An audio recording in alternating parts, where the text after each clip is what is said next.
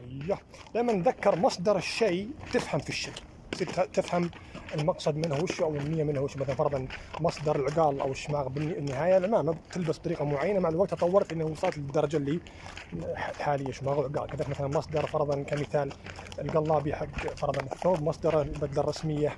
الاجانب آه، فرضا كرفتها عندهم مثلا مصدرها البندانه سابقا وغير ذلك كذلك في الخيل في الركوب مصدر القفل طرق الركوب الصحيحه الأخرى قفل فرضا بشكل باخر طبعا عده مصادر لكن بالنهاية هي وضعية معينة برقبة الحصان يحسون إنك إذا سويتها بتتحكم فيه فيطلبونها بصرف النظر عن ليش طلبها. طلبها مقاتل الثيران عند الثور طلبها راعي البقر عند البقر طلبها راعي الدرسات في مسابقة الدرسات بالنهاية. مصدر الطريقة أن البشر عرفوا في فترة من الفترات أن الوضعية هذه التقويسه الإيجابية اللي ما فيها سحب. والحصان بس مفضي متكي تسهل عليك التحكم في الحصان فطلبوها فمصدرها بالنهاية وضعية انت ترى أنها بتخليك تتحكم في الحصان. فلو جبت الوضعية بدون ما تتحكم بالحصان زي ما يجيبها أغلب ربعنا صارت خطأ ما دي ميزة. التزليق أو المواكبة مصدرها وشو؟ مصدرها أنك راكب حصان بدون أدوات مساعدة لك فتحاول تتحكم فيه عشان ما تطيح. يعني مصدرها باختصار تحس إنك لو ركبت خطأ بتطيح. أسهل مما يطيح اللي راكب سرج وأدوات وغيره. فأنت تتحكم عشان ما تطيح. فكل ما حسيت باختلال التوازن اضطريت تتحكم مو بس رغبة بالتحكم رغبة في عدم السقوط. فمصدر الطريقة هو الأوضاع اللي تخل توازنك الأوضاع اللي تخليك تحس أنك في خطر. كل ما حطيت نفسك في وضع تحس أنك آه، جسمك فيه خطر ستؤدي الفكرة هذه أنك تتحكم في الحصان تحكم زايد قود أو ركوب. يعني أنت راكب الحصان أو تقاود الحصان أو متعامل مع حصان بدوك إلى آخره. طالما إن الوضع اللي أنت فيه فيه خطورة وتحس إن تحكمك في الحصان سيجعل هذه الخطورة تزول تزول تضطر إنك تركب الطريقة وتضطر تسويها. فمصدر الطريقة أصلا هو الاضطرار أنك مضطر تسويها ولست مخير. هذه طريقة طبيعية فطرية وليست طريقة مكتسبة زي طرق الركوب الأخرى. فحتى طرق الركوب الأخرى رغم أنها لها مصدر واضح إلا بالنهاية بشكل أو بآخر مكتسب. اما انها اخذتها من فلان أو علان أو حتى لو ما اخذتها منه بالنهاية أنت اخذت أفكار اعتقدت انها تؤدي التحكم. فرضا شفت التقويس مع اغلب طرق الركوب الصحيحة الأخرى فلما يقوس صار معك تحس إنك تتحكم فيه. أو شفت آه، لمة الجسم مع اغلب طرق الركوب الصحيحة الأخرى فلما الحصان يلم نفسه معك تحس إنه موزون أو تتحكم فيه وقت ذلك هنا طريقة مصدرها إنه باختصار راكبه بطيح ومع ادوات تساعدك. اذا الطريقة الوحيده إنك تثبت ثبات صحيح. طبعا تقدر تثبت بالخطأ إنك تشعبط لكن مع الوقت جسمك بيعرف إنه مو بكافي اني بس اتشعبط مع الوقت بيجيني حصان ذكي أو قوي أو سريع يكسرني ومع الوقت جسمك يضطرك إنك تتحكم في الحصان عشان يسهل عليك الثبات.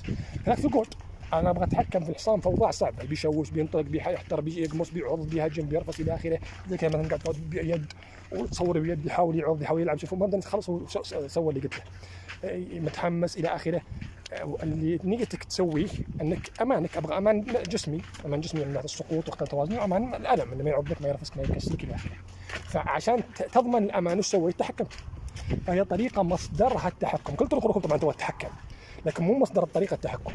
يعني آه، مو بحط نفسه في وضع يضطر يتحكم فلما آه، أضطر يتحكم اكتشف الطريقة. لا ارجع للمصدرات لاحظ أنها اعتقد أن التقويس تحكم فأجبر الحصان على التقويس فاخترع الطريقة. تفيد مع البعض ما تفيد مع الآخر مع البعض الآخر أو مع الخيل الأخرى. هنا مصدرها باختصار التحكم فلو فرضنا جاك حصان ما نفع معه اللي نفع مع الخيل الأخرى بتضطر تواكبه باللي يسويه. فمع الوقت تطلع لك ان الخيل كلها أصلا يا تسحب تفضي تتكي الخيل كلها بتمر بالثلاث مراحل هذه. فأنت بس تواكب. نعم إذا يسحب أكثر من ذا إذا يفضي أكثر من ذا إذا يتكي أكثر من ذا بس كلها بدون استثناء بتسوي الثلاث قبل وبعد وأثناء ما تسوي شيء معين زي تشنيع قمص عض إلى آخره ومواكبتك لازم تؤدي التحكم. فنعم الخيل مختلفة لكن الفكر أو التصرف عند الخيل يبقى بحدود معينة تفضيه وتتكيه مواكبتك لها يخليها تحسن عدم مواكبتك لها يخليها تسوء. فكل ما كانت الطريقة مصدرها أصلا. وضع مضطرك إنك تطلع الطريقة كانت فطرية طبيعية. يعني ما تحتاج أحد يعلمك إياها بقدر ما إنك لو حطيت نفسك في وضع معين سويتها أغلب طرق الركوب الأخرى شبه مستحيل إن الشخص يخترعها من نفسه مكتسبة. تأخذ معلومات من هنا ومن هنا ومن هنا ثم لنهايه تعرف الطريقة. وحتى اللي بالفعل خذاها بشكل مو مباشر من فلان وعلان بالنهاية شاف فلان وعلان وخذ أشياء منهم شكلية. فلما سوى الوضعية المقاربة لهم صار مقارب لهم في الطريقة. فرضا ما أخذ الطريقة من الطريقة الأمريكية أو فرنسيه واسبانيه وغيره بس بالنهاية يبغى التقويسه حقتهم ويبغى اللمة حقتهم. بالنهاية ركب فيها بينما التزليق طريقة فطرية طبيعية. الشخص ممكن ما تعلم ابدا عنها لو حط نفسه في وضعك أتقنها. والدليل انه حتى لما تعلم هي صعب يتقنها أو يمشي زين فيها بدون ما يحط نفسه في وضع مقارب للوضع اللي أنت لما كنت فيه اخترت الطريقة. يعني الوضع اللي اضطرك إنك تسوي الطريقة هو الطريقة الوحيدة اللي تخلي الشخص نفسه يتقن الطريقة حتى وانت تشرح له. لو بتحطه في اوضاع تضطره أن يسويها هو ما راح يسويها. عكس طرق الركوب الأخرى ممكن تشرحها شفهيا أصلا ولما يجي يطبق يطبق تطبيق مقبول. إنها أصلا طريقة مكتسبة مي بفطرية. تعليمية أن تعلمها الشخص مو شيء يسوي من نفسه بمتعلمه